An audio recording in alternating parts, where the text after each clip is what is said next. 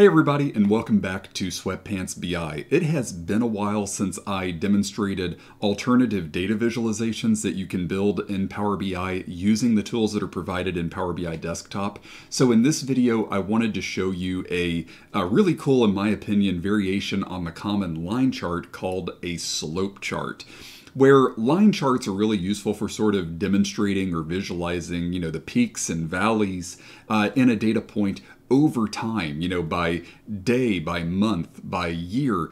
Slope charts are really handy when you want to compare just the starting value and the ending value for different categorical uh, data values over time. For example, if you want to demonstrate just the change in a metric from a starting period to an ending period across all kinds of different categor categorical variables. We're going to be using, uh, I believe, states in the example that I'm going to show you here in just a moment. Uh, another important defining uh, element of slope charts is that typically you don't have to worry about like zeroing out the x-axis. Sometimes color is not important if you have a whole bunch of different values in your uh, category that you're trying to visualize in the slope chart.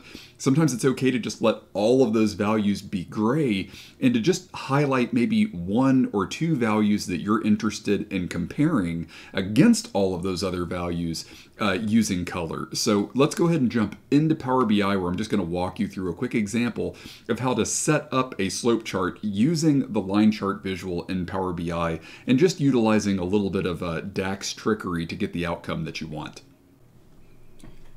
So for this slope chart demonstration, we're going to be using a UFO dataset that I've used in some other videos and that is available in several places to download uh, for free. And the reason that I love this UFO dataset for the slope chart example is because there's so many years of data. You can see that the data set actually starts in 1941 and runs all the way through May of 2014. So, I mean, we've got the better part of a century of data in here.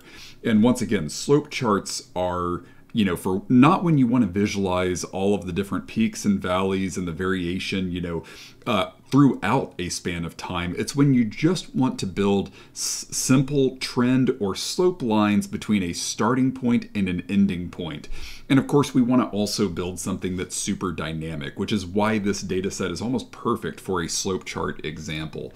And just to sort of highlight, you know, the, the benefit of a slope chart, I want to do a side-by-side comparison here. And this is going to uh, depend on me having a year slider up here in the top left corner.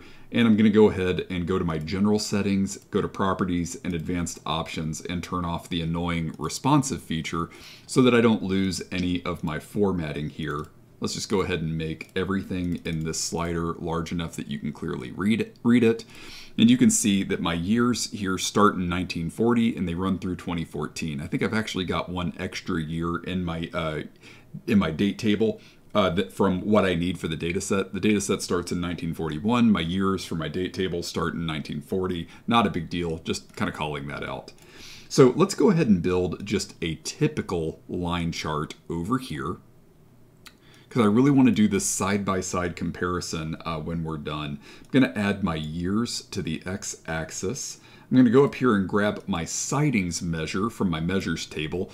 And this is just a count of all of the rows in my UFO dataset. Every row represents one unique sighting. So this is perfect. I think that there are something like, yeah, 80, almost uh, 81,000 sightings in this data. So let's go ahead and just drop this into our line chart here. You know, at a glance, you can see, you know, maybe a slight uptick starts in the early 60s. You know, things are just kind of going along, and then around the 1990s, everything just takes off until by the time you get to 2012, you've got almost 6,320 sightings just in that year. So really impressive, you know, explosion here. And what we would be trying to do with a slope chart is really distill this trend to a starting period and an ending period.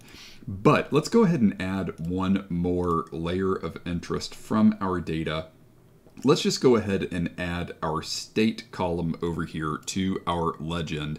And now we get a line chart that looks like what I call a spaghetti chart, which I probably picked up from someone else. I don't, I, I feel like, I feel like some, someone else or something that I read called this a spaghetti chart and it just kind of stuck with me, but you can see why it's called that. You just end up with this sea, this noise of lines. It's very chaotic. I would argue that you can definitely still kind of see the explosion here in the 1990s, but with everything broken down by state, it's really hard to contextualize um, or, or, or sort of understand what the uh, what the takeoff and the trend looks like as a whole because it's been dissected into so many you know uh, with you know about 50 states of, uh, of values being broken down here. So you just end up with this really messy sea of noise here. And what we want to try to do is we want to build a slope chart that makes it a little bit easier to sort of interpret uh, you know the uh, change in this time span for uh, all of these different categorical values. Now, you're going to notice all of the colors here breaking down each state into its own uniquely colored line.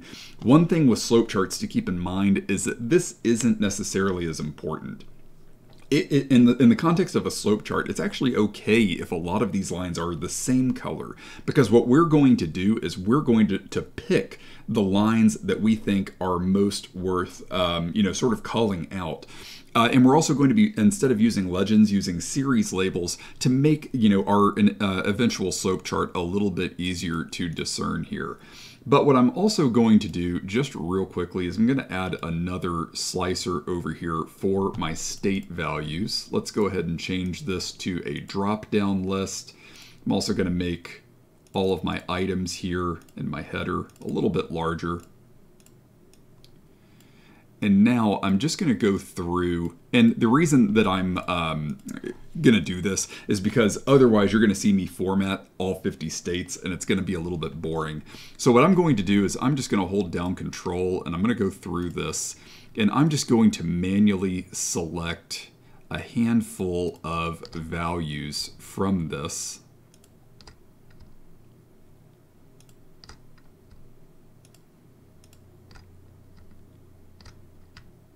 Doesn't really matter how many I pick. I'm just trying to run through and grab a large number of values.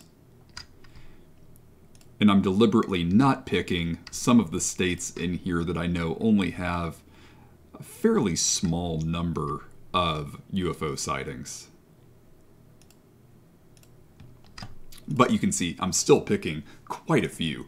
So, okay, we've got, you know, a slightly truncated version of our line chart with only, you know, maybe 20 or 30 states selected instead of all 50. Now, I want I'm going to go ahead and add a table onto this because I really want you to be able to understand what the measure we're creating does uh, for our slope chart. So first, I'm going to go ahead and just grab year from my data. Right now it's aggregated, that's nonsense. Let's go ahead and click on this caret and instead of showing the sum of year, which makes no sense, let's choose don't summarize. And you can see everything is sorted here from 1940 all the way to 2014. As I get older, my vision becomes crappier, so let's go ahead and just make this a little bit larger. And let's go ahead and dump our UFO sightings into the table here. And you can see that our sightings for this batch of states start in 1942 and run all the way through the end of the data set in 2014. So what we want to do for our slope chart is we want to isolate just the number of sightings on the earliest year and the number of sightings on the latest year. So really we want to effectively capture just the two here and the 1378 here. And I'm even going to drag my slider a little bit so that we can get a little bit more uh, data. Let me go ahead and just try to drag this into the 60s, and I'm even going to pull this down to 2008. So we're going to try to capture 103, which is the earliest year that we have selected, and 2726, which is the latest year that we have selected, 2008. So first, let's go ahead and create a measure that isolates the minimum year over here. Or in other words, it's going to grab this 1967. So let's call this first year. And for this, we're going to calculate the, the minimum year from our date table for all selected values in our dates table. And if I've done this correctly, when we drop first year into the table, you're going to see 1967, the minimum year, but we're going to see that year for all selected values in our date table. So we've got 1967 all the way down, which is actually exactly what we want here. Now I'm going to just create a new measure here. And it doesn't look like my measure came over, but that's fine. Just going to create that measure. I need to go back to first year. Let's go ahead and copy that. And we're going to just paste it here. This measure is going to be exactly the same as our first year measure. It's just instead of using min, we're going to use max this time. And of course, our max year for all selected dates in our date table based on the current filter context, which is 1967 through 2008, that's what you get with all selected, is going to be 2008. I'm going to drop this into my table, and now you can see that I've got 1967 all the way down and 2008 all the way down. Because I'm using all selected, I'm able to pass filter criteria through to these measures. In other words, if I want to change this to from 2008 to 2010, now I'm getting 2010 and 2010 is added. Or if instead of seeing 1967, I want to just see 1979, now I've got 1979 through here. So now that we have these two, we can calculate a different version of our sightings measure that we're going to need for our slope chart because we're not going to want to use this sightings measure. We're going to create a new measure that I'm going to call sightings slope chart. And for this version, we're going to use the switch function. And switch is just like an if-then statement. We're, we're going to switch the values when a, when a given criteria is true. So the first criteria is going to be if whatever year we're evaluating in this table, for example, 1979, 1980, 1981, 82, if the selected year being evaluated is equal to our first year, which is only going to be this row here, then return my sightings measure. If the selected value of the year equals last year, which is going to be just this row here where 2010 equals 2010. You can see all of the other rows that would not be true.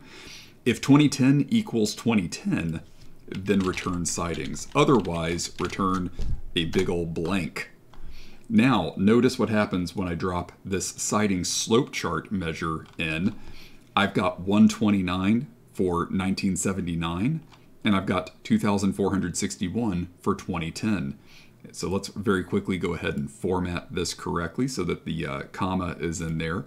And now notice that this measure is dynamic. If I go up to my slider here and if I change this to 2007, now I've got 2448, 129. If I change this to 1977, I've got 132. So my slope chart measure is already working perfectly. It's just pulling the value for the first period and the last period. Let's go ahead and create a new line chart here. I'm going to make it nice and large. And I'm going to use year on my x-axis. I'm going to use sightings slope chart on my y-axis. And you can see I've just got a starting period and an ending period. Let's go ahead and add state now to my legend. And this is exactly what I was expecting to see here. I only have values for 1977, which is what I've got as the first year in my slider here, and values in 2007, which is the last value here. I have years still on my x-axis, but notice that if I hover over these lines, I don't see a tooltip. I only have my first year and my last year visualized. So let's go ahead now and format this to make it a little bit more slope charty, I guess.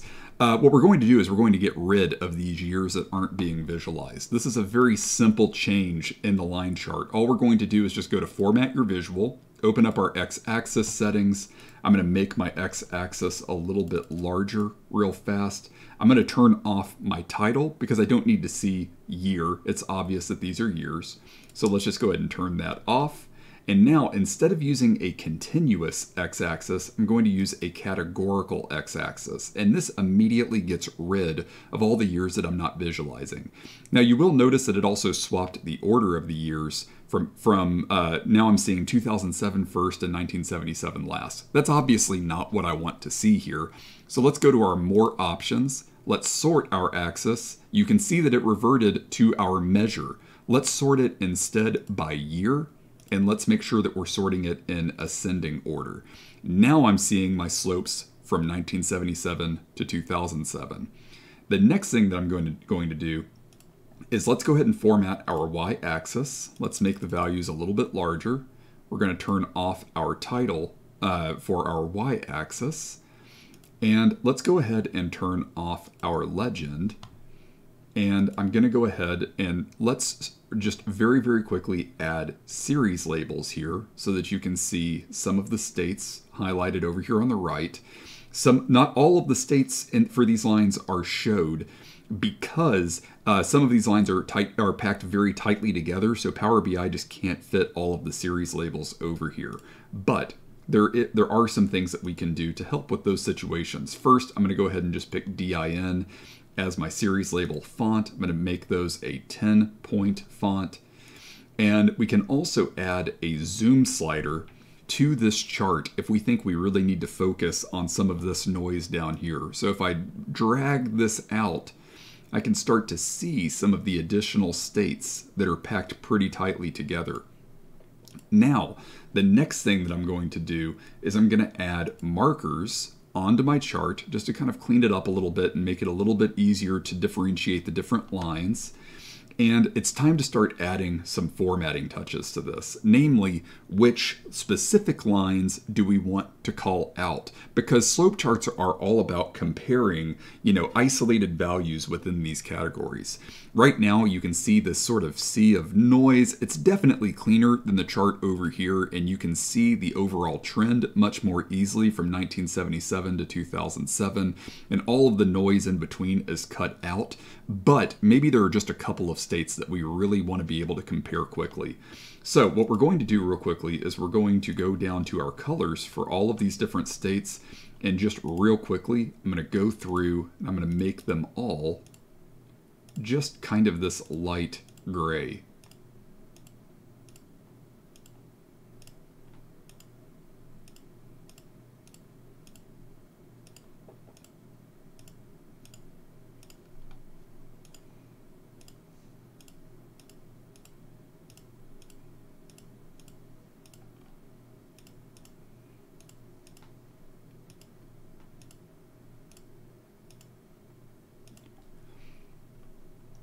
And I missed Florida.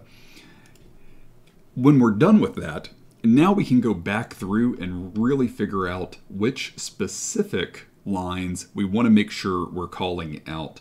So maybe with me living in Kentucky, I decide that I really want to call, call out Kentucky. So I'm going to make Kentucky's line just a little bit bolder and I'm going to go into my line colors now and I'm going to give Kentucky just a pop of color and you can see that it's all the way down here. And maybe I decide, well, you know, I also want to compare Kentucky with California. So I'm going to go down and now I'm going to give California a pop of color. And I'm going to make its thickness just a little bit bolder. And maybe I decide, just for the fun of it, let's also throw Florida into the mix.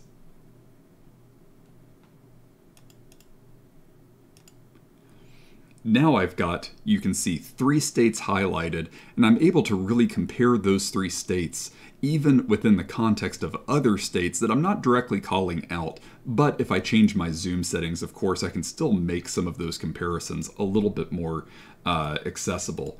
Now let's go ahead and go to our markers. And I'm going to go ahead and leave all of my less highlighted values in this five point font or, uh, or pixel size, but let's go ahead and go to California first. Let's increase its markers since we're spotlighting it. Let's increase the uh, marker size for Florida and let's increase the marker size for Kentucky just to make everything as easy to see as possible because especially in the case of Kentucky where there are several other states kind of overlapping unfortunately we can't very easily bring a line that we're interested in to the front. It's still going to be overlapped by some of these gray values but at least now it's definitely easier to see the last thing that we're going to do to really call attention to California, Florida, and Kentucky is let's go to our series labels and instead of applying the same formatting as we are for the other series labels, for California, let's go ahead and give it a bold font. And I'm going to use the same color accent. I'm going to bump the font up to 13. For Florida, I'm going to use the same color pop. I'm going to bump its font up to 13 and bold it. And for Kentucky, of course, I'm going to do exactly the same thing. And just by accident, I'm going with basically a University of Kentucky Wildcat blue here, which is my alma mater. So go Wildcats, I guess. And now we're pretty much done with our slope chart. There's one more touch that we could do here if we, you know, really wanted, uh, you know, to, to make a slope chart that is uh, as immaculate as it could be. Let's go ahead and give this a dynamic slope chart title, and we'll, we'll just call this change in UFO sightings by state between whatever the first year is that we've selected and the last year that we've selected. And all this dynamic uh, title is doing is it's just concatenating or combining actual text with dynamic measures that calculate the minimum year and the maximum year. And we're going to go to our, our title options here on our slope chart, and we're just going to grab in our conditional formatting that dynamic slope chart title. I'm going to make it nice and large Sometimes I like to italicize my chart titles and now we're done. We've got a perfectly uh, good slope chart here that I would say is, you know, uh, worthy of some of the slope chart examples that you might find in some really fantastic books uh, by people like specifically, I'm thinking uh, Cole Nussbaumer Knopflich, whose last name I'm probably butchering, so apologies. Uh, and also in a uh, book that I just recently finished uh, reading called Better Data Visualizations by Jonathan Schwabish. Both of those books talk specifically about slope charts, and in fact, they were uh, two of the first books to kind of put slope charts on my radar as you know really useful kind of simplified alternatives to your standard line chart that I thought you might find useful. So thank you so much for checking out the Sweatpants BI slope chart tutorial. I will see you next time.